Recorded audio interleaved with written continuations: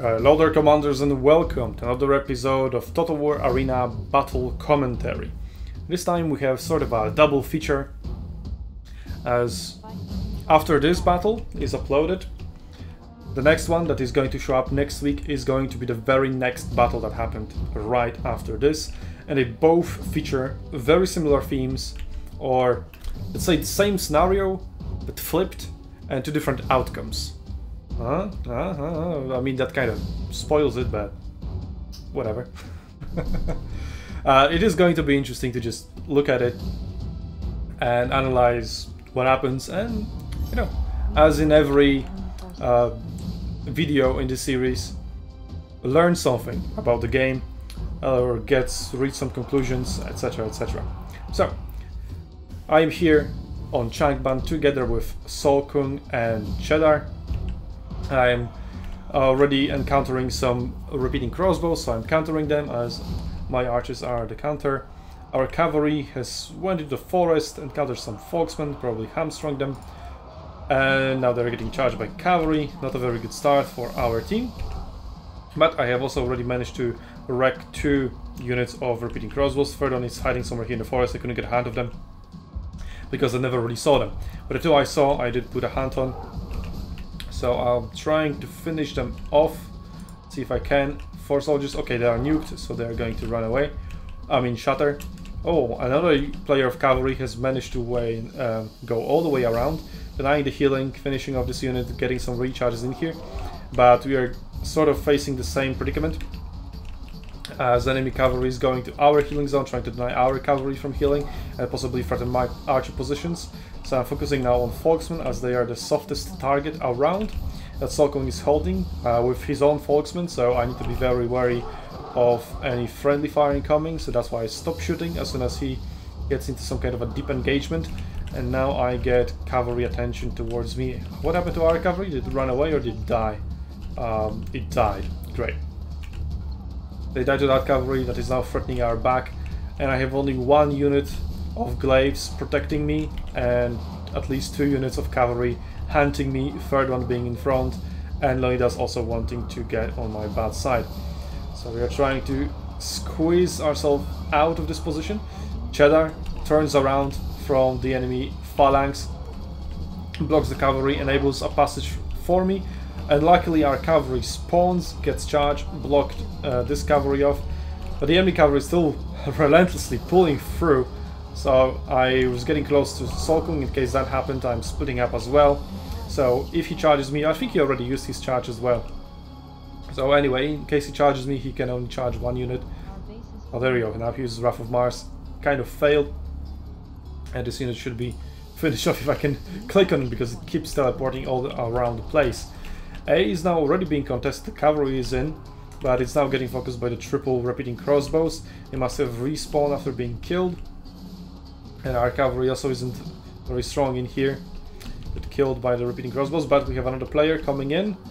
And he gets some good charges. Oh, this one is nice one. The other two are kind of just attack orders. Doesn't really charge at all. Oh, charged here a little bit. Well, his cavalry is in the best shape. He managed to rout this unit for a while. But now the flank is changed. Oh, there we go. Converted to a reflank again. And after we've dealt with the threats over here, we can now push towards A again. The healing is being denied by our cavalry, that's really nice. Foxmen there should die anytime soon. Repeating crossbows are also disrupted, and as soon as I get closer there, um, they wouldn't be a problem anyway. So I'm trying to finish off the enemy units that are trying to run away and get a heal, making the job easier for our cavalry as well to finish them off. Um, yep, there we go. Another unit finished off. Still don't want to... Oh, he's in off, okay.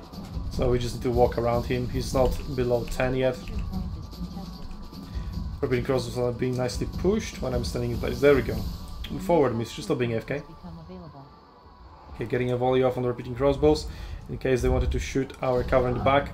Ooh, but Foxmen here either respawned or heal. They were in the night, so now they will be looking to prevent us from getting A. So that's a perfect target for me. Come on, Mr. Where's your barrage? Get good. Start shooting. Cavalry coming as well. We still have some infantry left to block that off and kind of equalize the fight. Another player of cavalry coming around. But it's going to be difficult. Mr. Zanup didn't use his barrage. He totally should have. Now he is using it on a very badly picked target, but whatever. Well, it is being contested, but the enemy is fighting gaps in our lines, pulling through, trying to get to me. Cheddar, last second charge, was that charge? Yeah, they do have charge. Yeah, he's playing swords, not glaives. I'm so used to him playing glaives, like, what? They don't have a charge, and he's playing Dong Zhuo. But he's playing swords. I managed to get a flank over here. He's in uh, Hoplite Phalanx not fighting Shade, so I could have killed him. And the Foxmen are also cut down. And now A is going to flip. Our cavalry player here sacrifices himself, just keeps the enemy away from the point so that we can get it. We flip the point, so no healing anymore for our enemies. To prevent the cavalry from getting in. But they're still going to put up quite a lot of pressure on us. But we do have a healing zone now, very closely. And nicely positioned, so as soon as we get rid of this cavalry should be able to safely retreat while this glaive uh, player buys us some time. But let's look on the other side of the map. E has been captured by the enemy, but now they have given up on it. Oh, they all went back to heal, apparently. Now we're getting back, the cavalry is charging in. Our cavalry charged out, prevented them. Maybe we'll get a flip. Can we get it? The cavalry is trying to pull through. Can they contest?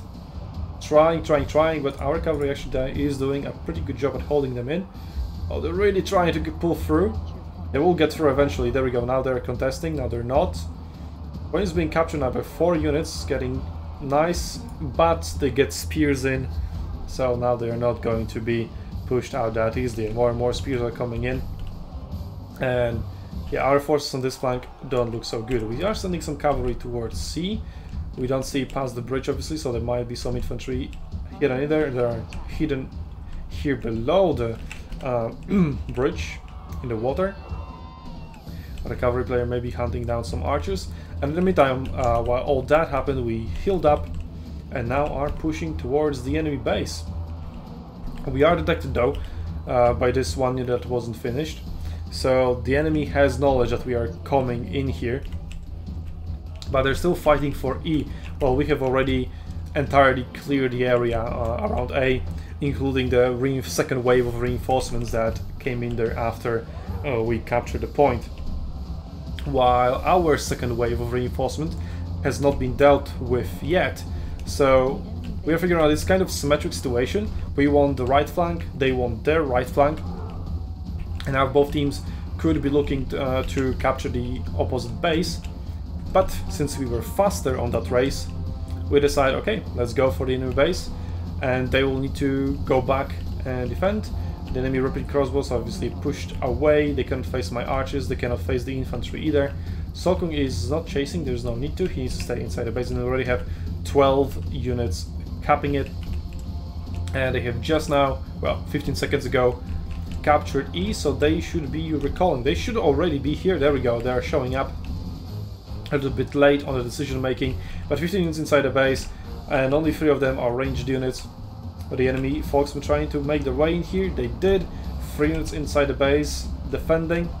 But it still, that doesn't matter. Uh, there's no decap um, mechanic anymore here. So it's not just they need to tag every unit with some uh, archers and it will be good.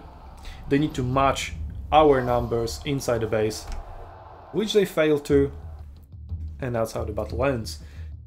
So, you know, recognizing those patterns and making that decision um, to go for the enemy base because you realize, okay, we are faster on that race, we've cleared our flank, the way to the enemy base is way open, and the enemy is in the same situation, but he's slower. So let's just go capture their base, and if they come back, if they recall and push out, put push us out of their base, we should still be at an advantage given you know how the map looked, more or less. And also on this map, um, base and C are very close to each other, so we could also cap C as we were retreating, maybe, maybe not. We didn't have to because we just won. So there we go. I think that was an interesting battle, an interesting lesson for all, all of you dear viewers. And well, you can help us bring the War Arena back to the West. You already know what to do to do that. So, I'll see you on Arena's Battlefields Commanders.